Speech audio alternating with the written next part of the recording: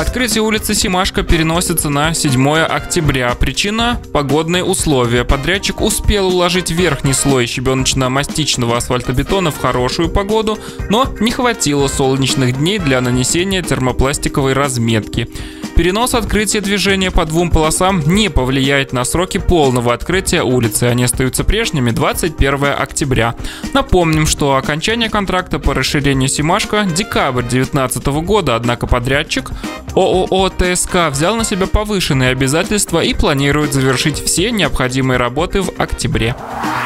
Вокзалы Арзамас-1 и Арзамас-2 ждет большое обновление, сообщил на пресс-конференции начальник Горьковской железной дороги Анатолий Лисун. По плану, оба вокзала станут транспортно-пересадочными узлами для маршрутов до Дивеева и Сарова.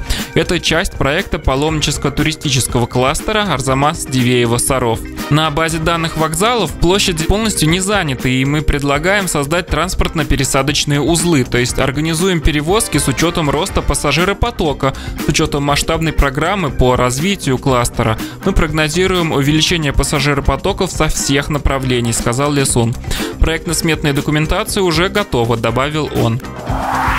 Ну и про саровских Бонни и Клайд. По версии следствия, 24-летняя Бонни и ее 31-летний Клайд с февраля по май 2019 года совершили кражи продуктов и прочего добра из магазинов. Действовали хитро. Со стеллажей они набирали товар, а оплачивали на кассе только его часть. По камерам их отследили и вычислили. Дело техники. Ну и бонусом, когда граждане не явились давать показания добровольно, к ним на квартиру пришли с обыском и застали хозяев за попыткой избавиться от хранящегося на квартире Мака путем утилизации его в окно. Ну, в общем, умники добавили себе проблем по статье 228 «Незаконное приобретение, хранение наркотических средств». Наворовали-то немного, всего на 18 тысяч рублей, зато статье им светит теперь целый веер. Расследование дела завершено, материалы переданы в суд.